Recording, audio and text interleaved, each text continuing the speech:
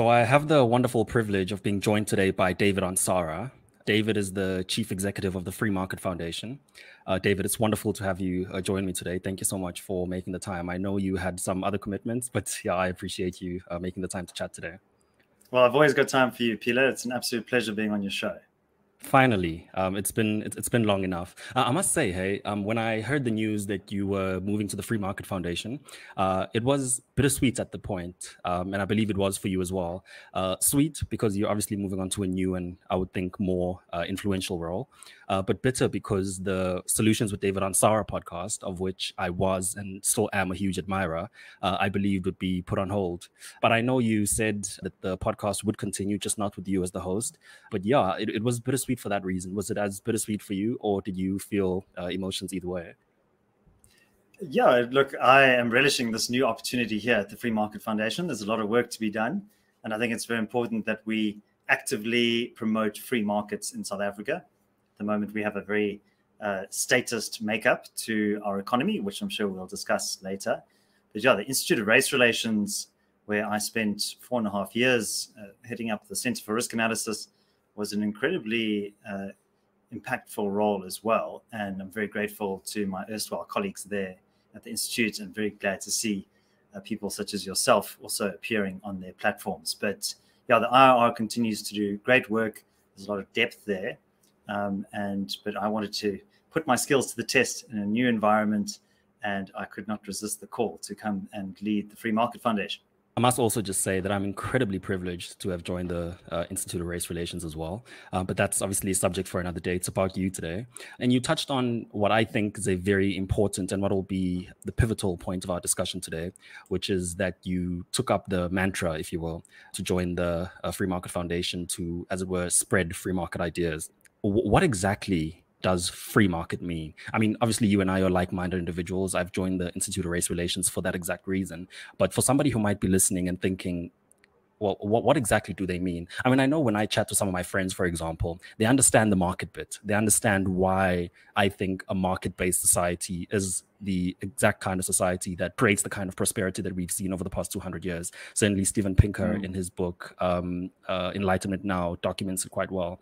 But what they have a challenge with, and I think rightly so, is the free in the term free market. So, what exactly does the free in free market mean? And what exactly does the uh, free market foundation seek to do to advance these ideas that we speak about quite theoretically? Yeah, well, when we talk about free markets, essentially what we're talking about is free people. So uh, many people look at economic activity or the discipline of economics and they think this is this very highly technical thing. Uh, but ultimately, what we're talking about when we speak about economic affairs is the free voluntary exchange of goods and services between individuals. And that's not just important for making money, it's also important for your sense of self, your purpose in the world, that you are free to improve your own personal circumstances, that there are opportunities available to you uh, to Im- improve yourself and the fortunes of your family. Uh, so, really, what we're talking about when we talk about free markets is actually a bundle of goods. Um, so, it's very much around personal agency and individual liberty so respecting the rights of individuals uh, to determine their own idea of the good life or to pursue uh, various economic activities. Um, we're also talking about freedom to trade. Uh, so we don't want there to be any artificial impediments between people standing in their way. Um, and we also recognize that there must be a system of laws uh, that uh, essentially moderate the behavior of of, of individuals operating in a society, that where there are conflicts between people, that those can be resolved peacefully and amicably through a system of, of neutral laws. So, really, in terms of uh, the, the, kind of core objectives of the Free Market Foundation, is to promote uh, free trade and the, the, voluntary exchange of goods and services.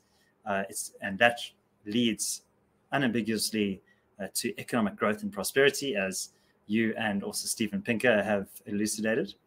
Uh, then there's that protection of property rights.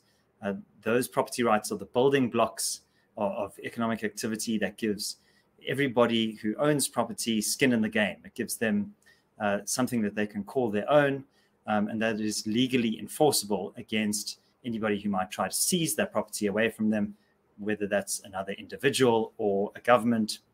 And uh, yeah, finally, we have the rule of law, which is uh, that system of laws that are fairly and equitably uh, applied to all individuals in society, regardless of their social status or their race or their ethnicity or their religion. Uh, everybody is subject to the same laws of the land. So that's essentially the principles that we try to espouse in our work. We do a lot of advocacy. So we write uh, numerous op eds in the media. If you open any uh, newspaper today, you'll probably see an FMF uh, opinion piece there. Um, and then we also do submissions to Parliament. Uh, we do longer form reports and also media appearances like this one. So we're really trying to spread the gospel that free markets is not just something for capitalists or the wealthy. It's something that really empowers everyone, including and especially the poor.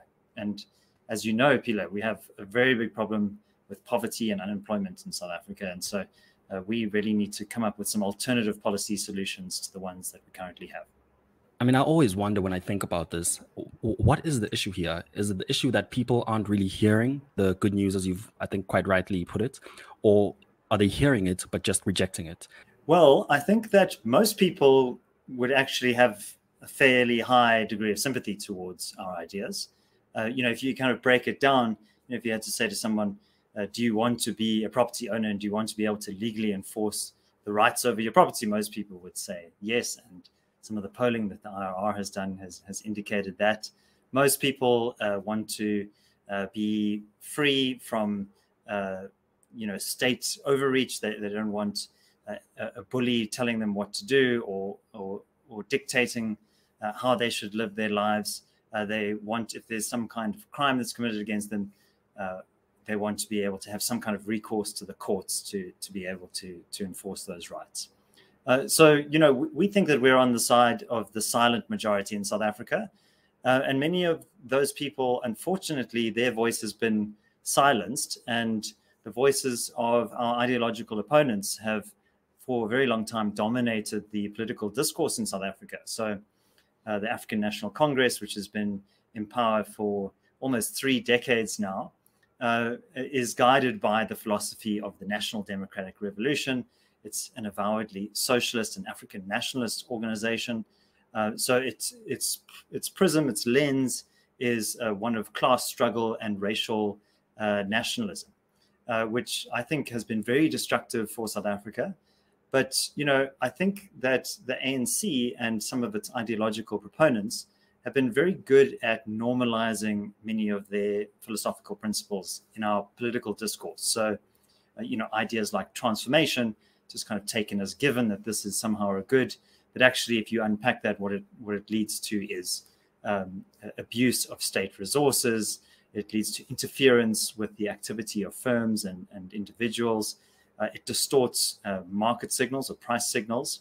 So a lot of the problems that we're now seeing at Eskom are the consequence of a very aggressive race-based preferential procurement policy. So that is just one area in which uh, many of the ideological uh, roots or, or, or underlying uh, concepts that the ANC puts forward have actually ended up eroding some of our critical institutions in South Africa and led to this suppression of, of, of, growth and, and personal incomes. Yeah, no, absolutely. I resonate with that uh, a great deal. Uh, and I know a lot of my friends uh, at Sakeliga as well say the same thing. I had a mm. discussion mm. with Tian not so long ago, and he was uh, essentially saying the same thing. But I mean, it wouldn't be, I think, a fruitful conversation if we didn't have uh, a tussle, as it were, because I, I, don't really want to make this podcast an echo chamber for people who espouse mm. like minded ideas. So I think let's go back to some of the things that you have spoken about. So you've, I've noted spoken about spoken about artificial impediments to growth, and I believe you mean by that regulation, which we can touch touch upon. And then you said, I think very importantly, that the issue is an ideological one. You mentioned ad nauseum in your speaking segment just before this one um, mm. that the ANC and its ideological proponents will obviously reject the kind of ideas that you and I espouse uh, over here. And my curiosity is why that might be the case. Um, and are we ourselves to blame? Or should we look at this ideological lens as a double-edged sword because you know can we not ourselves be accused of being ideological and you know this really uh, hit home for me when i was thinking about the following question that i'm going to pose to you right now which is when you think about what has gone wrong with south africa and the abyss in which we have found ourselves in what is it that's gone wrong? If you were to ask two people from opposing sides of the left right political divide, you will get two very different but predictable answers. And that I think points quite strongly to uh, Carl Jung's uh, people don't have ideas, ideas have people uh, observation. Mm. But can we not be accused of being just as ideological ourselves and being unable to see the broader zeitgeist, as it were, for what it actually is?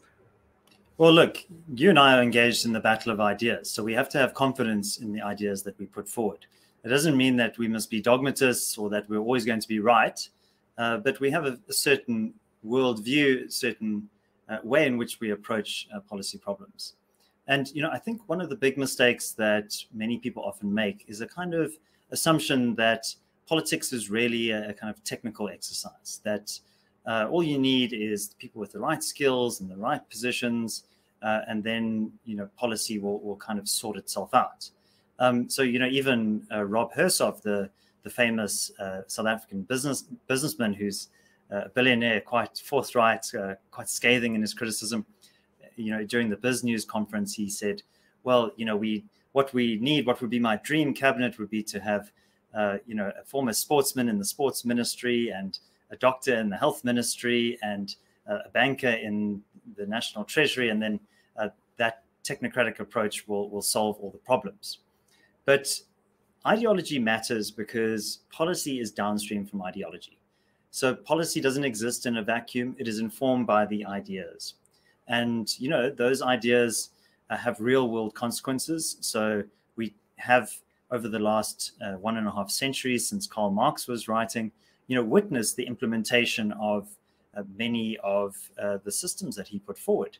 Uh, so this idea of democratic centralism, which was kind of honed by uh, Vladimir Lenin in Russia after the October 1917 revolution, you know, that led to a elimination of political opponents, collectivization of agriculture, which led to the starvation of millions of people. Uh, many millions more were uh, herded into gulags uh, where they died quietly outside of the view of, of the public.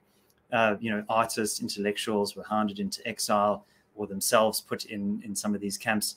If you look at Mao's China, uh, again, collectivization of agriculture, great leap forward, this big attempt by the state to industrialize China actually took living standards in China backwards. You had uh, people, uh, farmers, peasant farmers, melting their pots and pans and homemade uh, furnaces to try and meet steel production targets that were set by the state. Uh, people being punished for growing their own grain. Uh, but ultimately, market forces, it's not just a, a, a preference, a, a policy choice. It is actually a reflection of how people behave. So in China, many people started out of desperation to feed their families uh, to engage in private voluntary exchange uh, uh, around agricultural goods, uh, desperate to hide themselves away from, from the state, because if they were discovered, they would have been executed for defying the state. Um, and um, you know, Deng Xiaoping, who came into power after Mao, after Chairman Mao passed away, he recognized this that the, system was changing and that market forces were essentially irresistible. There's a perception that Deng that he uh, saw the light and that he he decided to liberalize China's economy. No, the pressure was actually coming from the bottom up.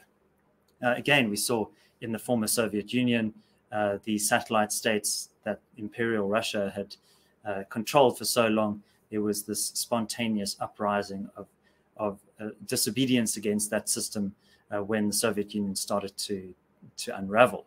And you know, many of those countries, for example, the Baltic states, some of the Eastern European states, are now extremely uh, prosperous and successful uh, after the fall of the uh, the Soviet Union.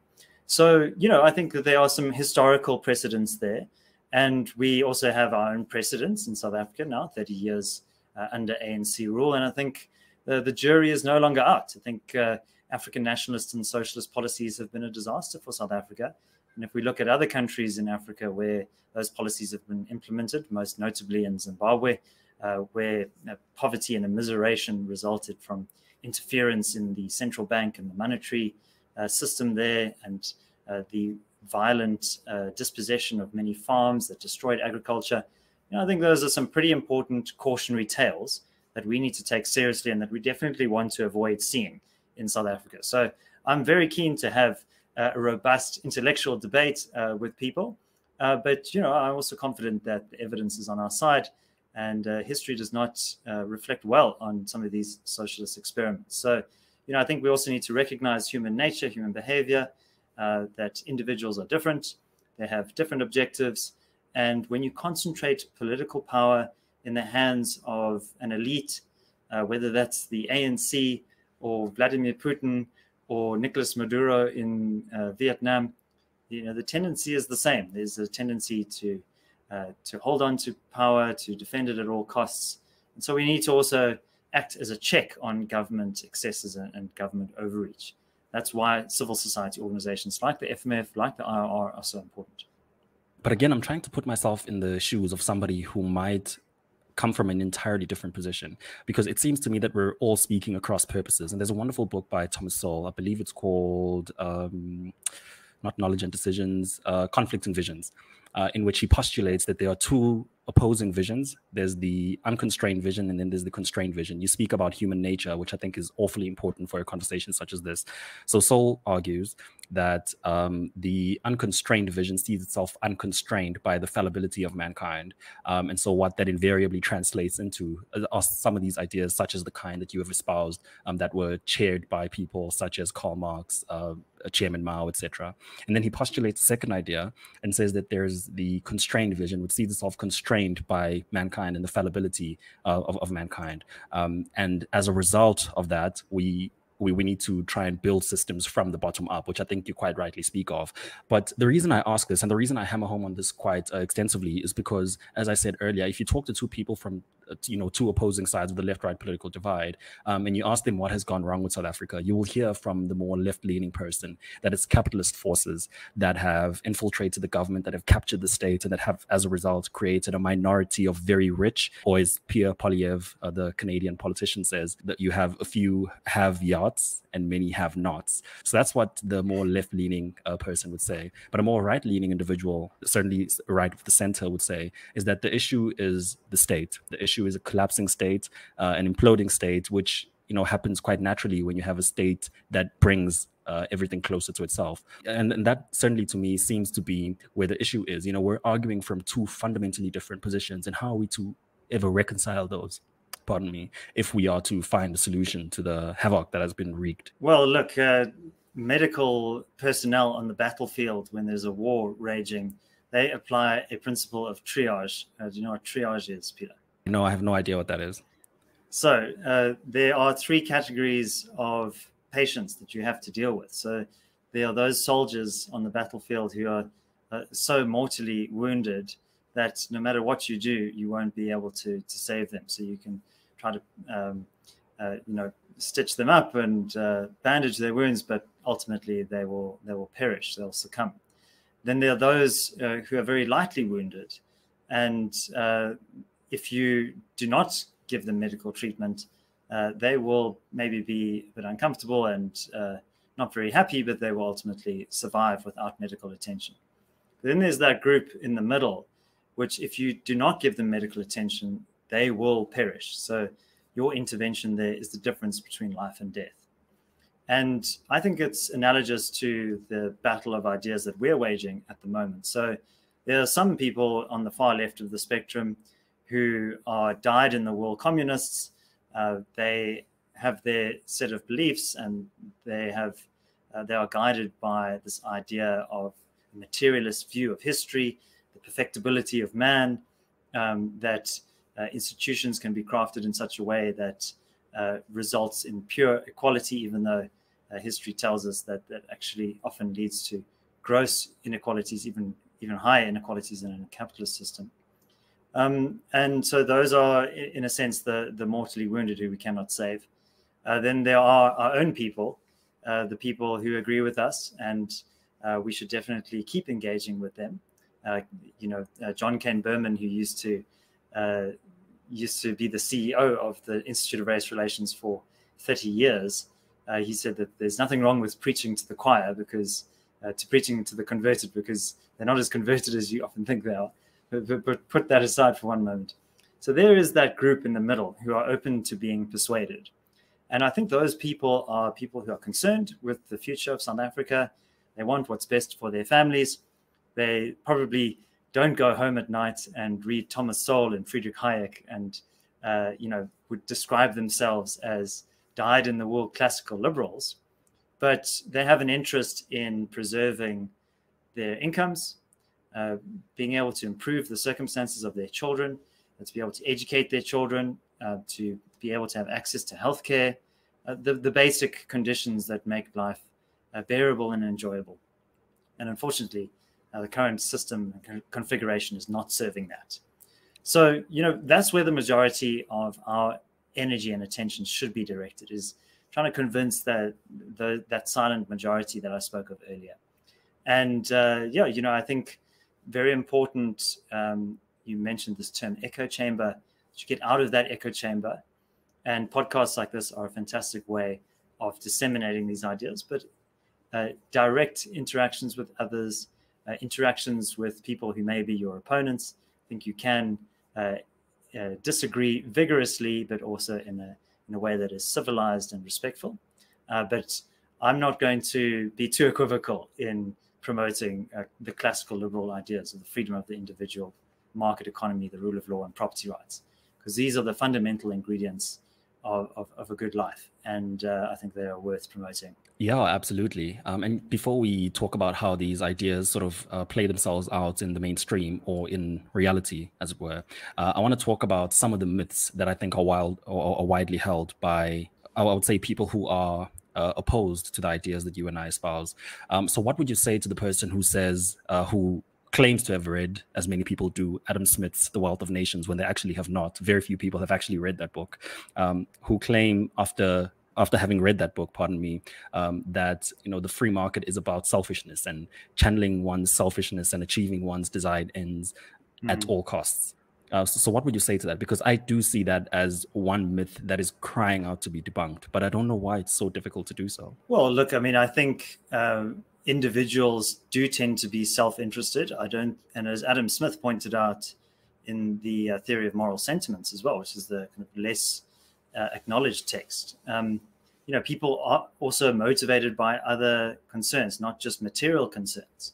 I think that is another mistake that uh, Marxist theorists make as well. That they see uh, this kind of materialist, uh, uh, um, teleological kind of view of history that uh, there are these forces of history that are just marching onwards, and it's all about class conflict. Uh, Marx didn't really anticipate that there'd be this growth of the middle class of the bourgeoisie.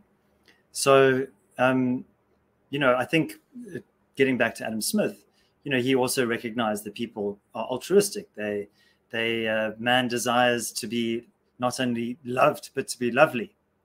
Um, so people are also motivated by status. So uh, your colleague uh, Gabriel Crouse often speaks about the esteem economy, and uh, you know that is something a concept that Adam Smith uh, touched on in, in his own way. Um, you know that you know uh, I think it was Charlie Munger who said that people are not necessarily motivated by greed but by envy. Um, so you know if somebody in your low income apartment block now suddenly is driving a better car, that might not be as nice a car as the billionaire who's in the leafy suburbs, um, but you're more jealous of your of your immediate neighbor because of this uh, kind of imitative nature that, that that many people have. So you know, I think uh, Adam Smith is a lot more nuanced.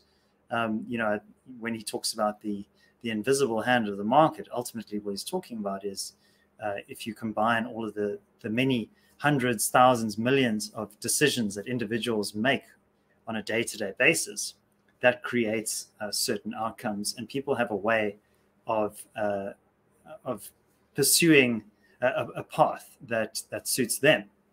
Maybe from the outside looking in it, it looks like they're not being entirely rational or something but often there is some hidden uh, reason why uh, perhaps they might be less well off and often that's because there is a policy with a certain set of perverse incentives that has been imposed on them, sometimes benevolently intentioned, well intentioned policies, uh, but that actually create uh, perverse incentives uh, and, and make people act in ways that actually lead to harmful consequences. So, you know, I think in the works of Adam Smith and, and in other classical liberal scholars, uh, you know, what I think there is is, is actually a kind of a caution, uh, a, um, a, hesitancy to to know exactly what's right for everyone. Uh, people are different; they have different pursuits, and you know, so uh, not presupposing that you, as an intelligent person, uh, you might have been very well trained and, and highly capable and qualified, uh, but just because you are in that position doesn't mean that you uh, necessarily know what is right for somebody else. Um, and you know, we spoke about the Soviet Union earlier, and I think a very interesting example was that uh, they had very many uh, super intelligent people in the Soviet Union, chess champions and uh, mathematicians, and some of these mathematicians were then put into committees uh, to run various aspects of the economy. So there were actuaries, very sophisticated models that they used to employ and one of these committees was responsible for uh, estimating what the annual production of shoes would be uh, for the year ahead. So every year the committee would gather and they would compare their models and statistics and they would say, okay, well, this year we're going to produce 11 million shoes. Because obviously there were no private shoe producers. Um, and lo and behold, the weather conditions would be slightly different. People's preferences would be would be different, and they'd either produce a massive surplus or there would be a shortfall. So either there were too many shoes or there were too few shoes. Uh, but if you think of a market economy, uh, if you go to any store, you will see hundreds of different kinds of shoes. Uh, light shoes for running, heavy shoes for workwear, uh, thick shoes for winter conditions, uh, sandals for summer conditions. And, you know, no matter how enlightened you are as a central planner, you can never predict how people's preferences will play out uh, in a complex uh, society. So, uh, you know, Friedrich Hayek said that uh, you know one of the the the fallacies that that economists often make is that they think that they can control everything by design. Um, uh, and that, that's that's just uh, uh, not the case. And I'm very glad that you touch upon Adam Smith's The Theory of Moral Sentiments because that has to be perhaps probably my favorite book, uh, maybe second only to um, Dostoevsky's Notes from Underground. But I think oh, okay. both That's books book. uh, hammer home um, the, the, the point that you're making. But I think so. The, um, let's move. The quote that I want to share with you from Hayek, which I was struggling to remember, is the curious task of economics is to demonstrate to men how little they really know about what they imagine they can design. Yeah, so the naive love that minds. Yeah. Um, so you know, I think you know, you, you just kind of spoke about having a bit of humility, epistemic humility. And, you know, I think in many ways, this doctrine doesn't presuppose that you can understand everything in the world uh, with a neatly packaged theory. Um, you know, there is inherently uh, complexity to, to social systems. Um, and you might look at certain symptoms and you might say, okay, well, the problem is X, Y, Z, but, but often you might be mistaken or there might be some hidden reason uh, for that social phenomenon. So I think there is quite a lot of humility in the ideas that we put forward to that. Yeah, and I think it's just a matter of uh, getting them across um, and making sure that they're received as well as we uh, intend them to be received. But I think let's move to the tail end of our discussion, which is more about the reality of South Africa. So we've spoken uh, quite a bit about you know the theoretical underpinnings of of some of the ideas that we espouse, and I think if people are more interested in, in in the ideas themselves, they can you know look at some of the references that we have made. But I'm very interested in what you think has gone wrong with South Africa. Practically speaking, we can talk about Eskom. We can we can use like very practical and tangible examples. And what you think um, the solution might be.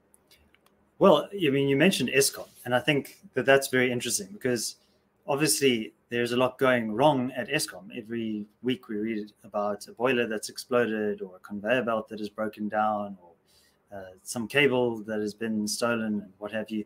So there are thousands of these technical problems in a complex system like Eskom. But again, what was the original cause of those?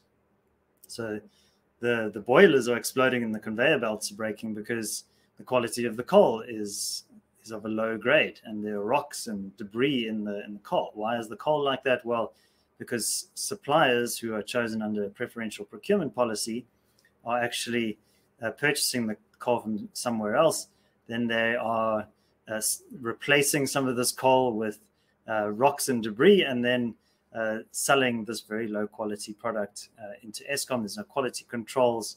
Uh, they have an insider who is you know, looking the other way and allowing this to happen, and then they sell the excess coal uh, to buyers overseas, and so they make a, a, kind of a double markup on, on this and a very handsome uh, profit at the expense of the taxpayer, you and I. So you know, if you go downstream from that, uh, then the cause of that is politics. Um, that we have uh, this policy of uh, transformationism or uh, black economic empowerment, uh, which is very very much couched in moral terms. Uh, you know, it says, well, this is to uh, correct the injustices of the past, but you know what the actual effect is is that it enriches a very small politically connected elite uh, that has benefited from its proximity to state resources, uh, whilst most South Africans, black and white, uh, now have to sit in darkness, they shut down their businesses and so on, uh, because of, of this stitch up that's happening uh, at, at, at, the political level. You know, so I think uh, that that is obviously very frustrating for many people. And I would say to those people who might be feeling a, a, sense of despair at this moment when you're sitting in stage six load shedding. Well, the solution to political problems are political solutions. So, you know, we need new political paradigm in South Africa. As I mentioned, this era of uh, African national socialism is kind of being discredited. It's, it's coming to an end. Uh, the question really is how quickly will it come to an end and what will replace it?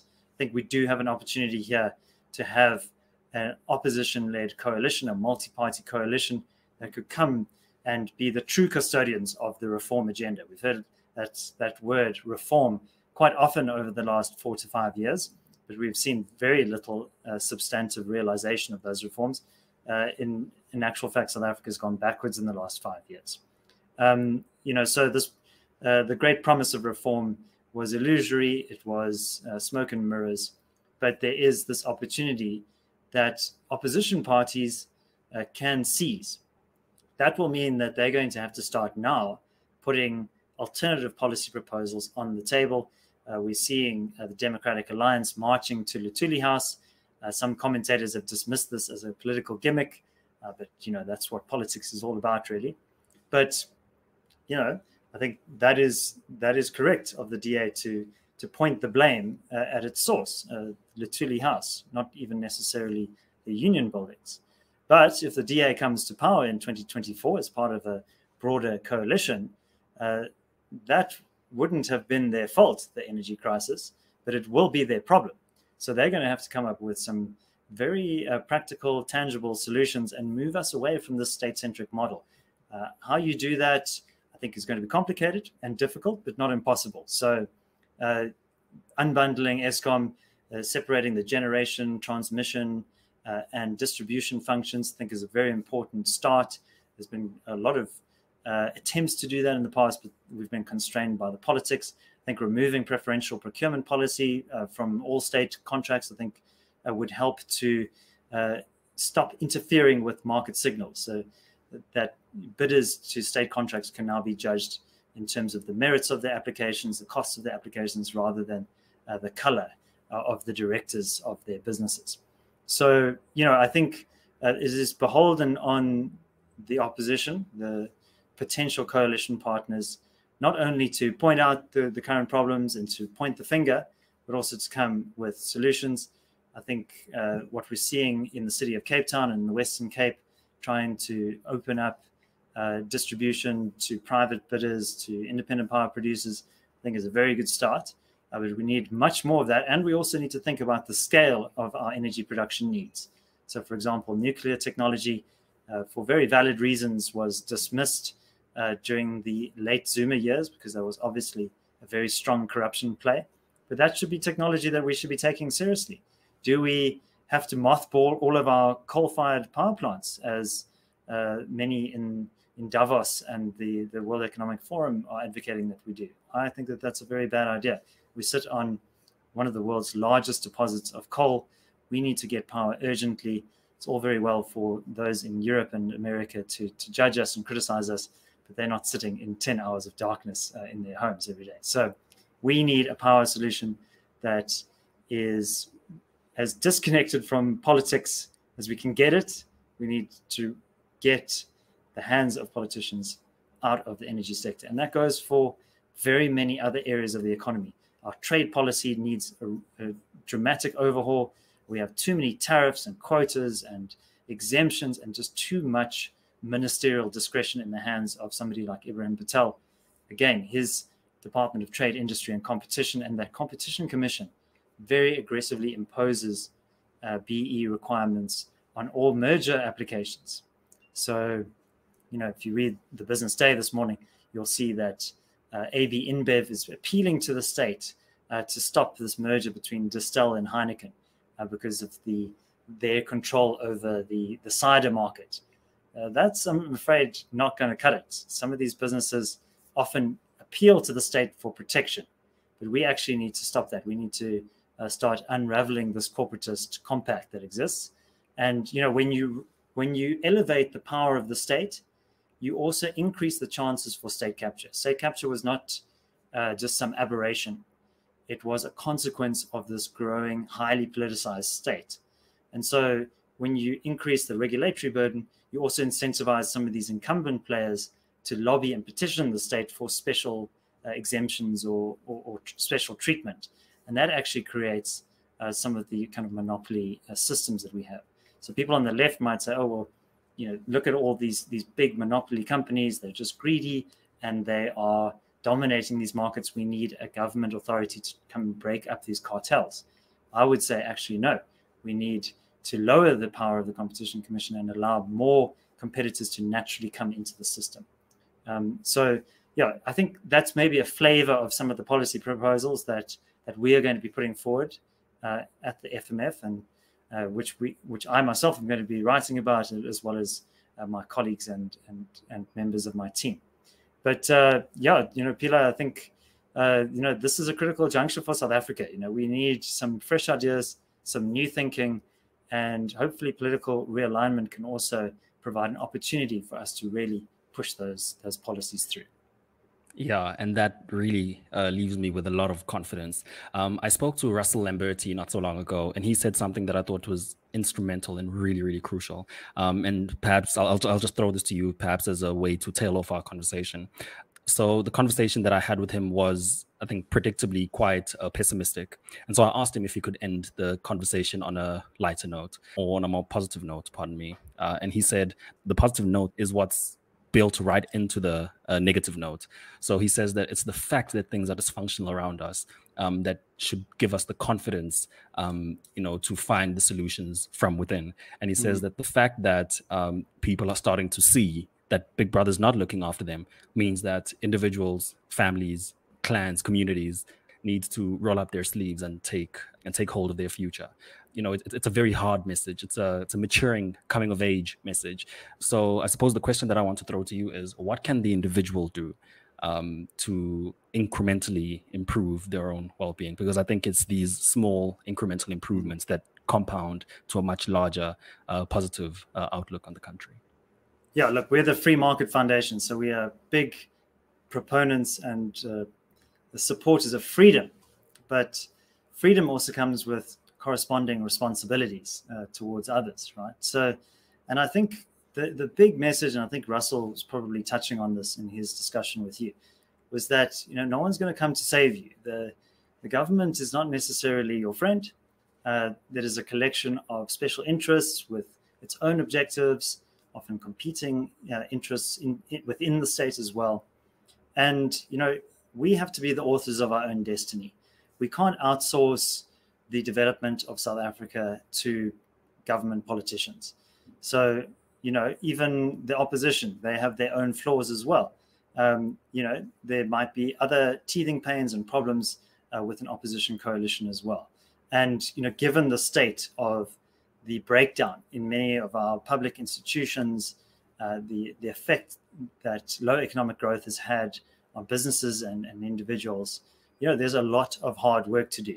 Uh, no politician, no matter how capable or smart or hardworking, is going to fix these problems overnight. It's incumbent on you and me and everybody watching this show to take up the mantle and uh, you know to to to really own the future of this country. So many people are immigrating, and I don't bemoan them for doing that. I don't don't judge them for doing that.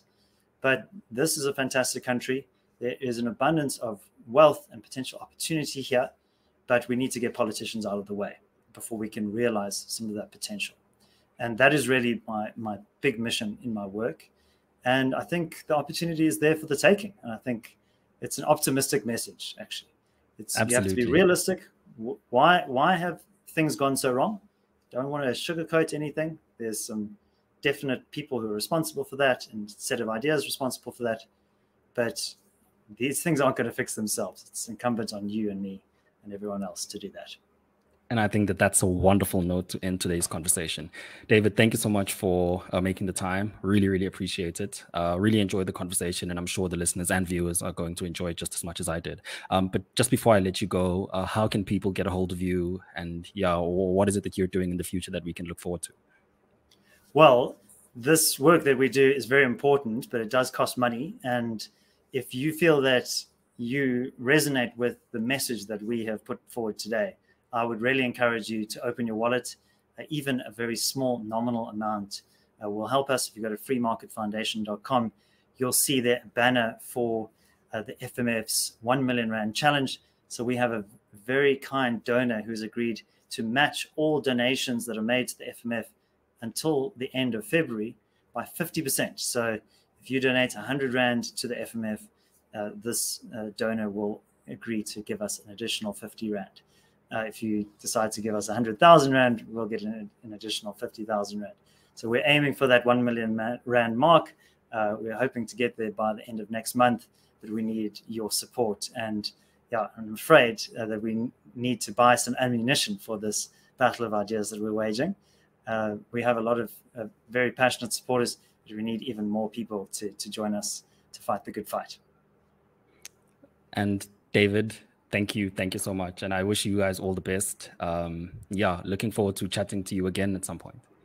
Yeah thank you Phila. i really admire the work that you're doing. And i think uh, you're somebody with the right ideas and you're a man on a mission. And i i'm really enjoying